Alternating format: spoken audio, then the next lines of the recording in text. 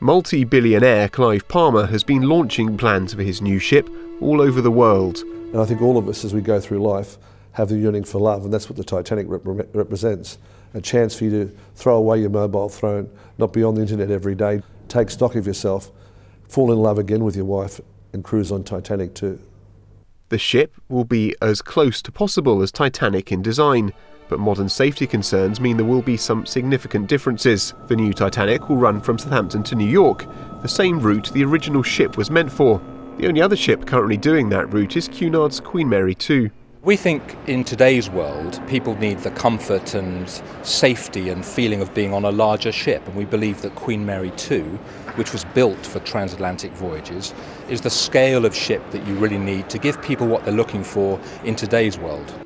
The new Titanic will be built in China and is set for launch in 2016.